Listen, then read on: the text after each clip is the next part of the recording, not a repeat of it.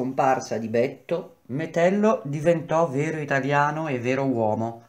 Prima ancora di essere elencato nei registri del comune, si trovò registrato negli elenchi della polizia. Egli era stato contadino, viveva da qualche tempo in città, in un quartiere di operai e di artigiani, era quindi in grado di capire e soccorreva alla sua giovane età un'ancestrale esperienza il pericolo che correva presentandosi sulla porta del commissariato a chiedere notizie del suo amico. Ma nessuno si era mosso per aiutare Betto, né al mercato né tra la gente del quartiere. Dicevano, ubriaco com'era, tutto in cesta, secondo il solito, sarà cascato in Arno. E se non è affogato, è alle murate. Non sarebbe la prima volta. Presto o tardi ritorna. In ogni caso non lascia piangere nessuno. Nemmeno Metello aveva pianto, mai, anche se si faceva male o se buscava picchiandosi per delle rivalità tra pastori. Anche sotto le frustate del guardia le lacrime non gli uscivano.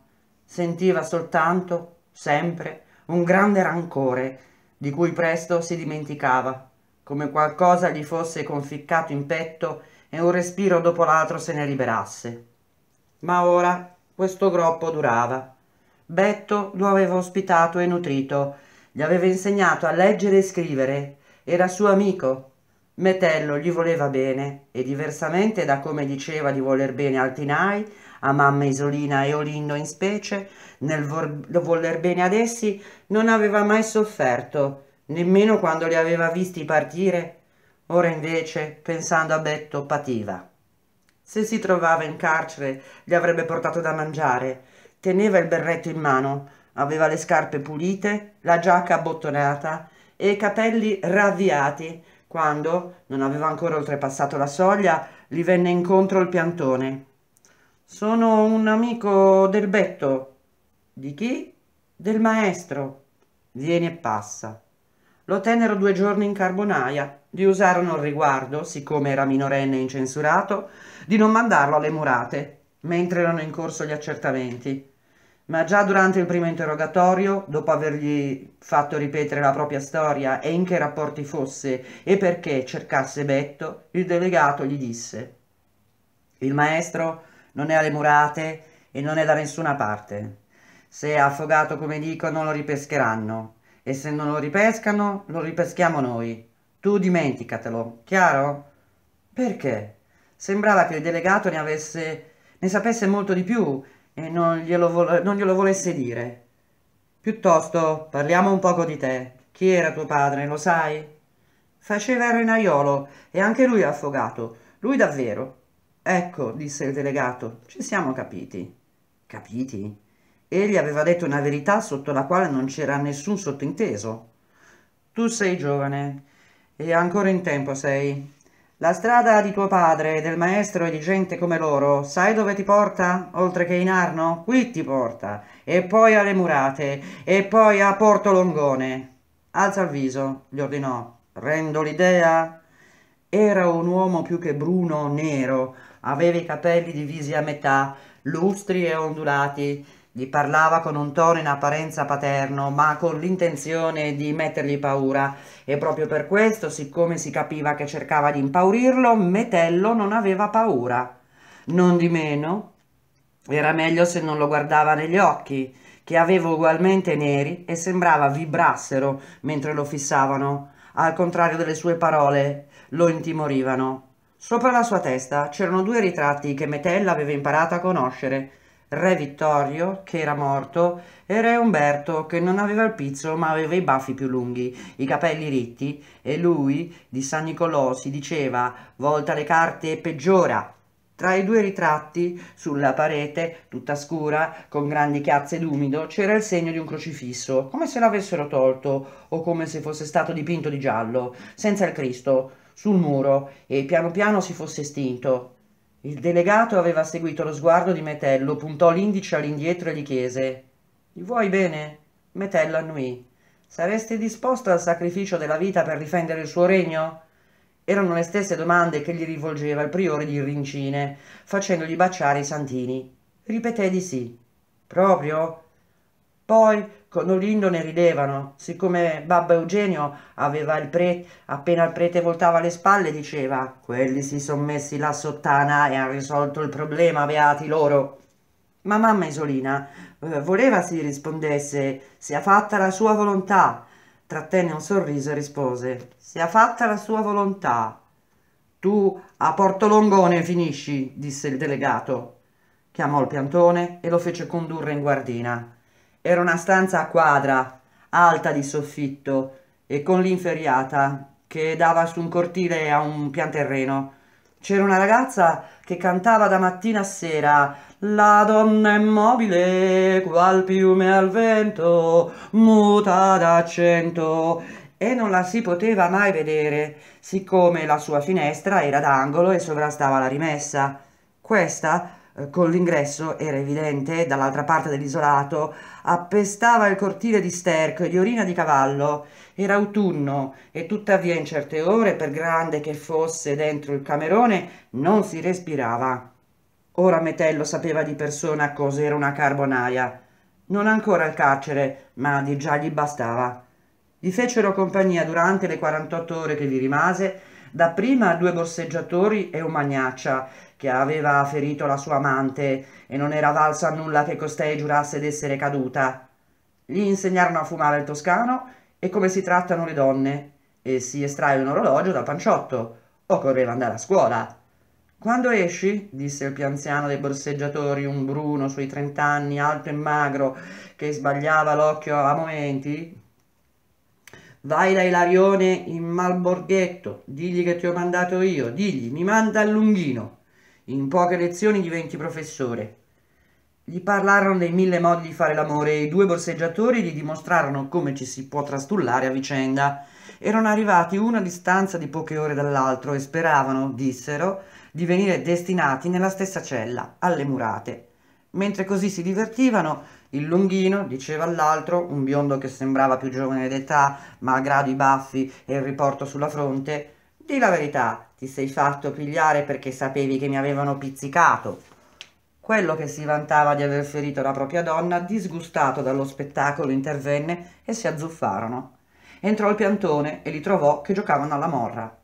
Quando imbrunì, vennero a prenderli per portarli alle murate. Così per la prima volta nella sua vita Metello vide più uomini legati a una stessa catena. Sull'alba ebbe due nuovi amici che gli tennero compagnia per tutta la seconda giornata la ragazza sempre cantava. È Michela, la conosco, disse uno dei due, abita dall'altra parte della strada. Era anche lui un ladruncolo, colto in fragrante, a mise, sull'omnibus che, che da Porta alla Croce conduceva a Piazza della Signoria. Povera figliola, è più in galera di noi, sta sempre a letto, non fa che pettinarsi e cantare, è inferma, non può camminare, le gambe è come non le avesse, le ha come le aveva a 5 o 6 anni. Le tiene dentro delle calze nere di lana, ma se non gliele guardi il resto è uno splendore. Di giorno non vuole che si salga nemmeno per cento lire. È tutta bionda, ha due occhi e un petto. Comincia a lavorare la sera, c'è sempre la fila. L'altro, Metello, non l'avrebbe mai scordato. Si chiamava Sant'Echellini ed era nato fu lui a dirlo, siccome venne il discorso, nemmeno a farla apposta, il giorno che cacciarono il Granduca.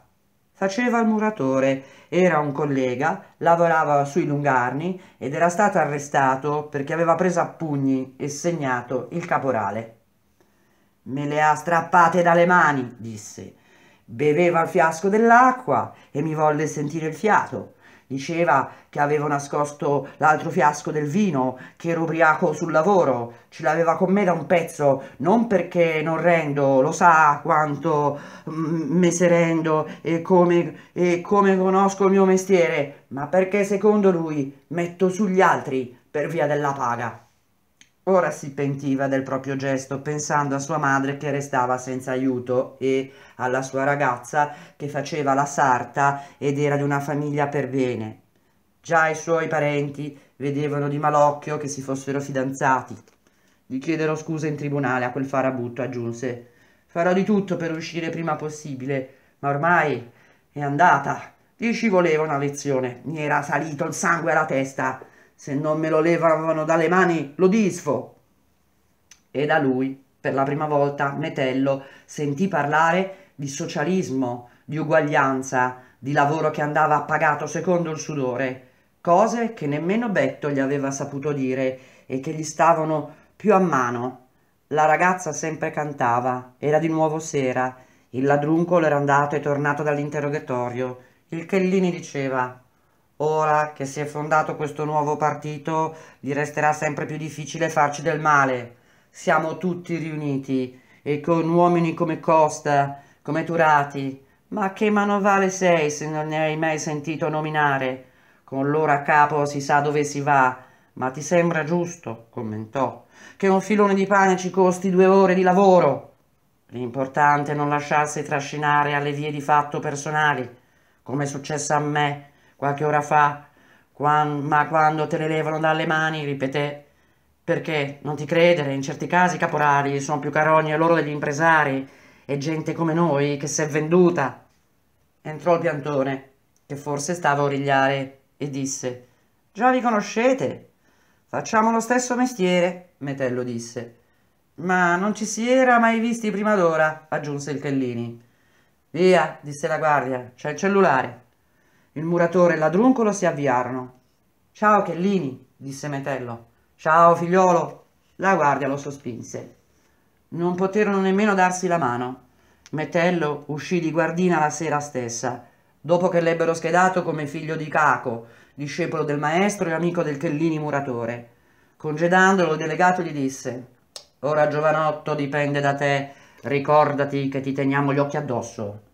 Egli tornò al lavoro ed aveva preso la sua decisione, togliersi quegli occhi di dosso il più presto possibile.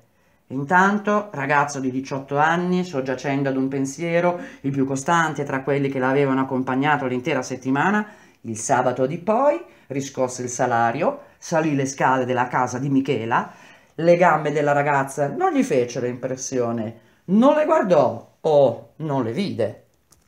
Metello arrivò a vent'anni, che era non un altro uomo, ma un uomo diverso da quello che sarebbe diventato se fosse rimasto a Rincine, bracciante di fattoria. La città dove era nato lo riconobbe e lo confortò gli aperse la mente e gli robustì il cuore. Gli dette un pane che per quanto sudato spesso lo inorgoglì e piuttosto che spegnere alimentò nel suo spirito, vagliandole, quelle doti di caparbietà, di equilibrio, di furberia anche, radicatisi in lui durante la sua fanciullezza contadina. Scomparso Betto, viveva solo e a cominciare dal filone di pane gli occorrevano sei centesimi ogni settimana Egli si trovava al principio di quella scala che parte dal manovale e conduce al mezzo muratore, al muratore, al primo muratore.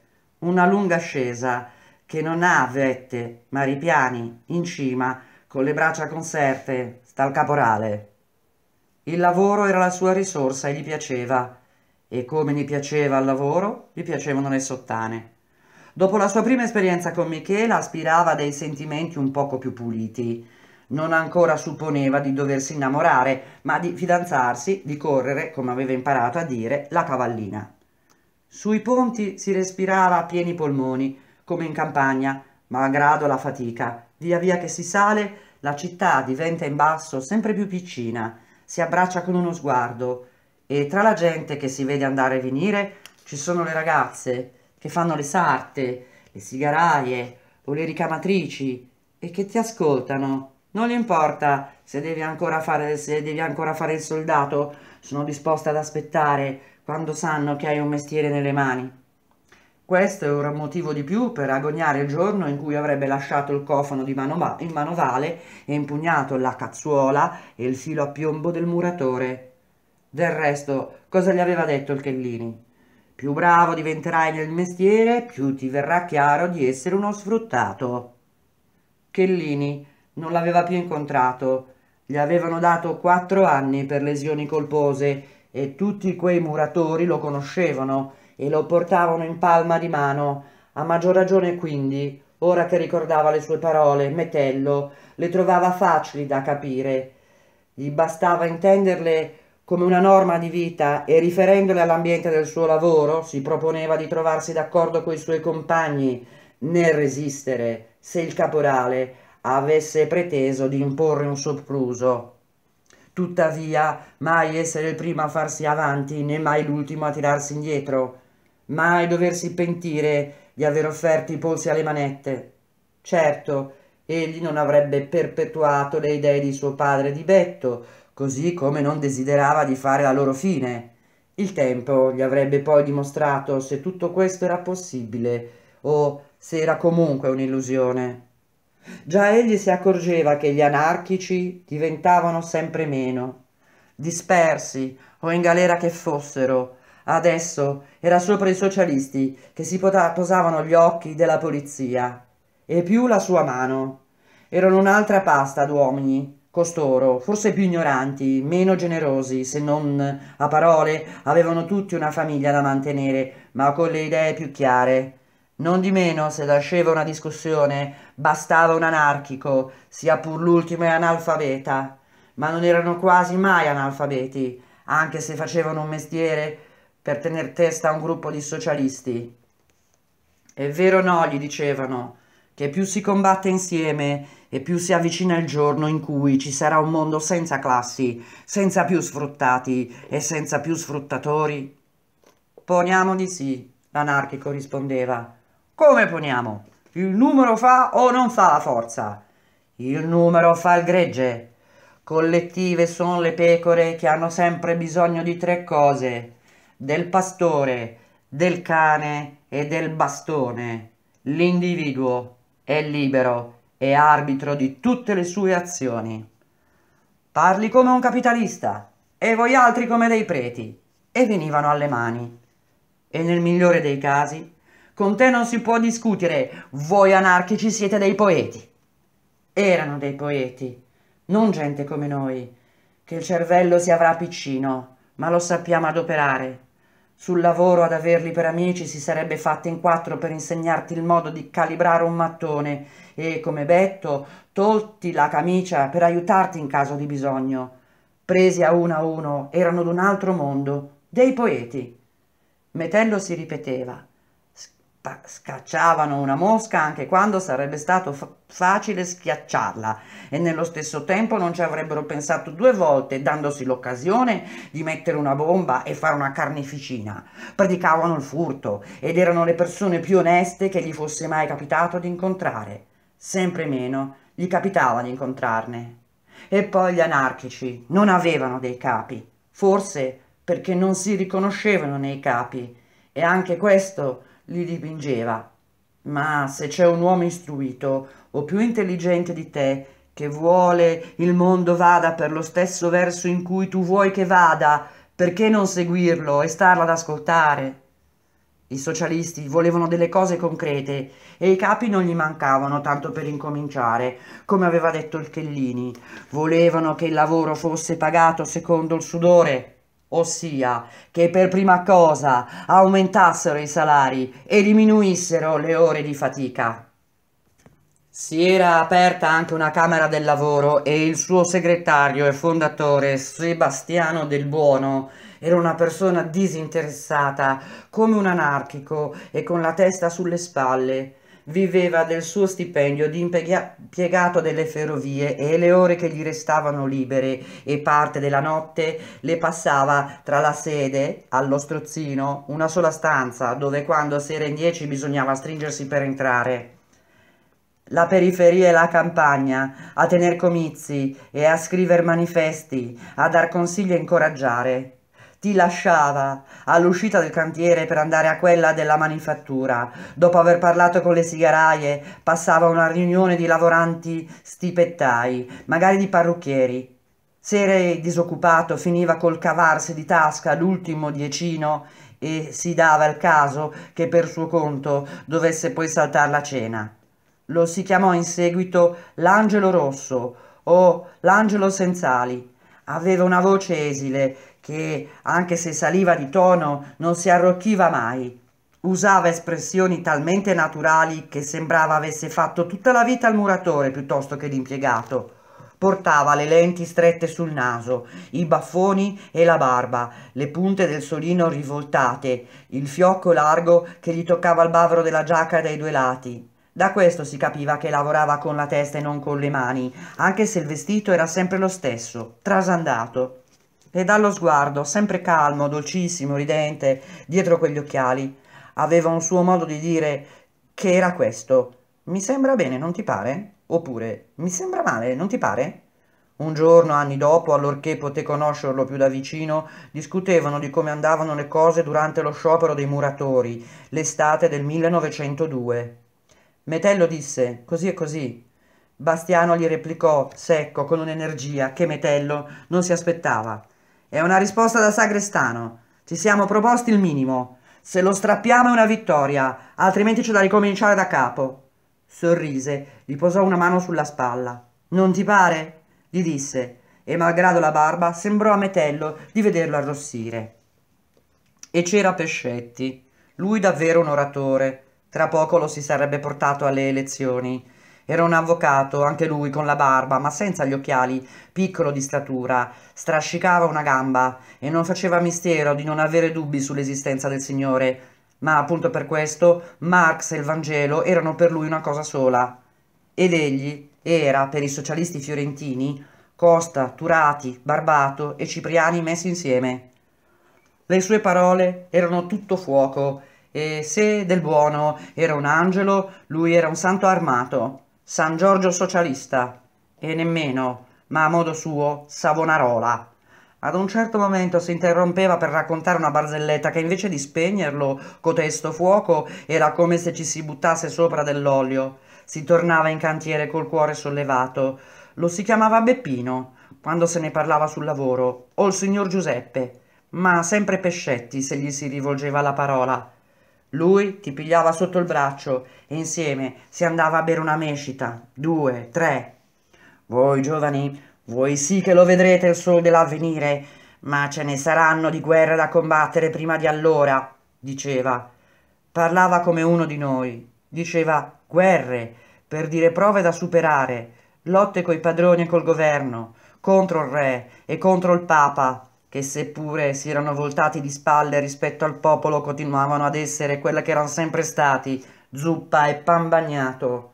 Diceva fino alla distruzione della società borghese del capitale, il che nel corso degli anni avrebbe significato e fame e carcere e fucilate, tutte cose per Metello di là da venire.